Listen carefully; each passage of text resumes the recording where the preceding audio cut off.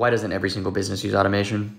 And what I mean by automation is automatic functions like automatic texting, email, appointment reminders, all the things that don't need to be done manually, they can be done automatically. Like for instance, if I was gonna create a website for an auto dealer, I'd click on the auto dealer template and boom, I have a beautiful website already done, but it's not automated. How do I automate that?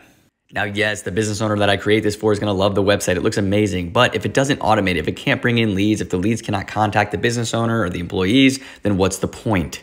The most simplest form of automation is through forms. You put in your name, number, and email, and you request an appointment. So look at how simple this automation is. Customer booked an appointment, it assigns to a user, an employee of that car dealership. They get an internal notification that pops up, hey, you got an appointment. A text message confirmation is sent immediately to the customer. It waits for a confirmation, and this just keeps going on until, you know, it's all done.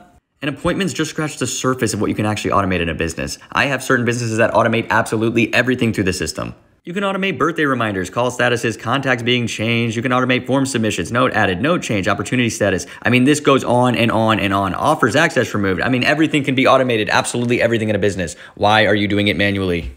And this video is not just for business owners. This is for people who want to sell this to businesses and have a nice little passive income, selling it for 97 a month or 297 a month, or oh my God, is that 497 a month? Yes, it is. So you can sell it for really whatever you want. And you can profit off of the text messages as well. So all these automated texts that are going through, the more successful you make the company, the more successful you make yourself.